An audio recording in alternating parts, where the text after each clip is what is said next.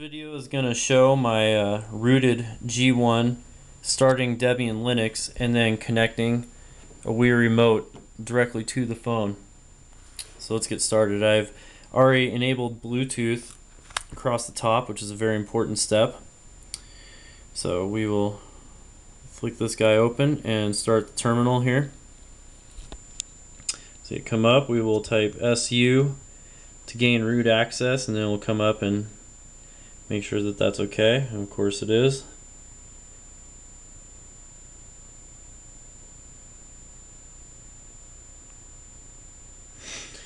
Okay so now we will run my little Debian script which is going to mount up the contained ISO on my SD card.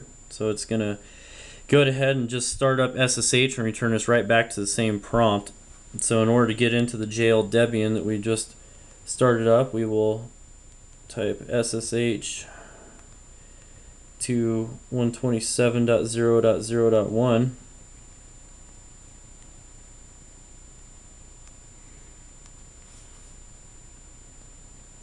and since uh, our file system is read-only it's gonna always ask us to OK the certificate. So now I'm gonna type my password in which you guys are not gonna be allowed to see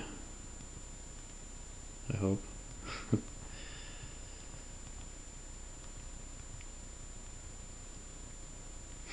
okay, and so it just jumps. Now we are sitting at a terminal, again on our phone.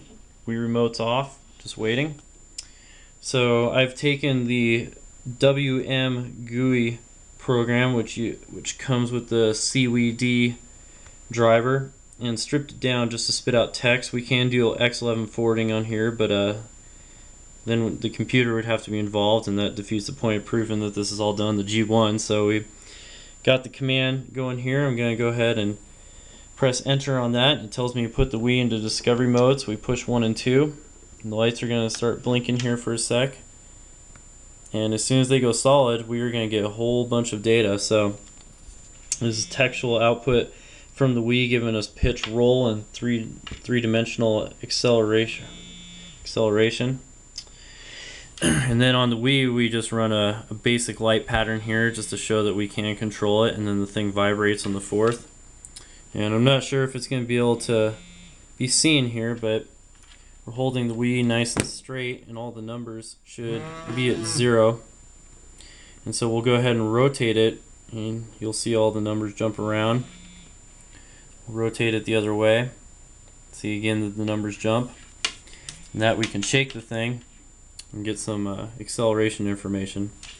So right there is a G1 phone talking directly to a Nintendo Wii remote over Bluetooth without the computer being involved.